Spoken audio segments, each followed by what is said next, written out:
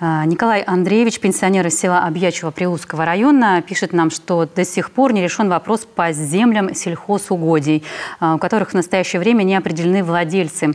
А земли когда-то принадлежали сельхозпредприятиям. Почва зарастает, не используется по назначению. И такая практика во многих сельских районах, не только в Прилузском. Как решается этот вопрос? Ну, э, вопрос очень сложный. На самом деле это доли, так называемые, да, сельскохозяйственные, они были когда-то распределены после э, значит, э, ликвидации сельхозпредприятий всем работникам. И с этими долями, конечно же, очень сложно.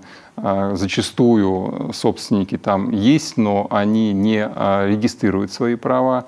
И ну, проблема на самом деле поднялась уже настолько высоко до федерального уровня. И на сегодняшний день могу сказать, что а, проект закона федерального вышел, как раз регламентирующий э, возможности э, вот, по э, более быстрые, вернее, возможности по вот этим земельным долям, которые не востребованы, ну, которые вот имеются. Но на сегодняшний день все равно эта возможность есть.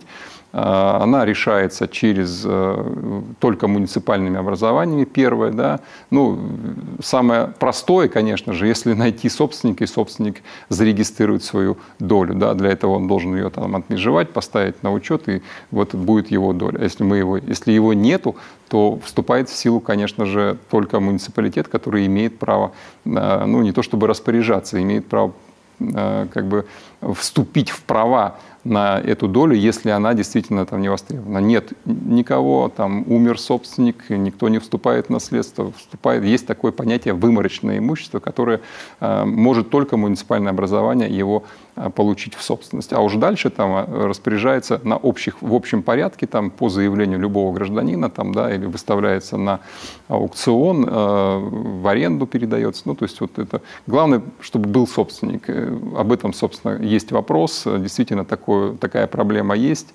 Многие муниципальные образования, особенно южные наши районы, где сельхозугодий было всегда много, они эту работу проводят, и она действительно сложная, но она ведется.